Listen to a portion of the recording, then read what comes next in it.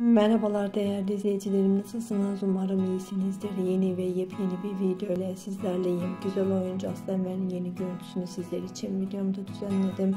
Evet videomuzun sonuna geldik. Sizlere iyi seyirler diliyorum. Hoşçakalın